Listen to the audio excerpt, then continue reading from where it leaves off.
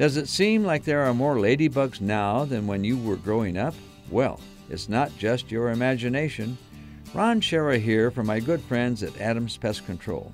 What you're seeing are most likely multicolored Asian lady beetles.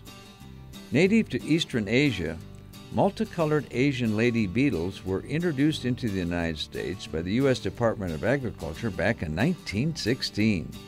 They have been described as the most invasive lady beetle on Earth and are now well established throughout the U.S. and Canada. Multicolored Asian lady beetles were first sighted in Minnesota in November 1994. And while Asian lady beetles feed on aphids and other pests, they have also greatly reduced the number of native lady beetles in North America.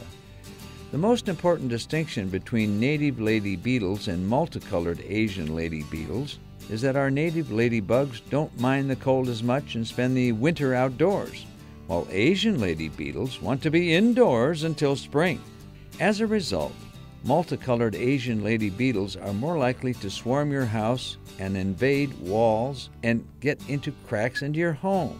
The most obvious sign of a nuisance infestation will be a large number of multicolored Asian lady beetles appearing on the sunlit south and west sides of your home, looking for cracks, gaps, and other openings to get inside.